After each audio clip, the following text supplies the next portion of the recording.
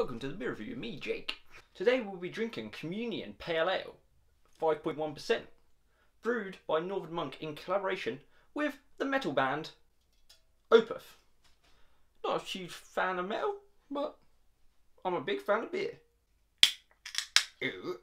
Okay, so beer in the glass then.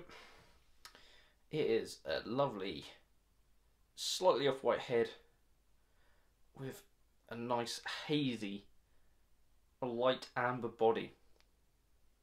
Good looking stuff, and it, it absolutely stinks. This beer of, mwah. I can smell it from here, but let's get a closer smell. Whoa, God, that is just pure fruit juice. It it, it smells like um.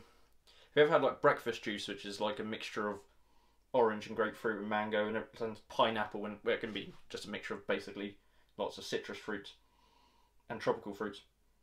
But that's what that's what this smells like. Getting a slight bit of like onioniness as well. Onioniness, onion, oniony, un, uh, onion-like smell, which is really nice. Great smelling beer. Just so juicy. Onto the taste. Well, talk about easy going and easy drinking. First of all, lovely, full, full bodied mouthfeel. Really nice, not thin at all. Really good. And then the actual taste is just, again, just pure tropical fruit juice. But it's all like really mellow, so the more mangoes, apricots, slight bit of orange peel. Not we're not talking like grapefruit bitterness. This is just really nice, mellow, juicy, fleshy fruit. That is a good pale ale, a damn good pale ale. And at 5.1%, you could get through a few of these.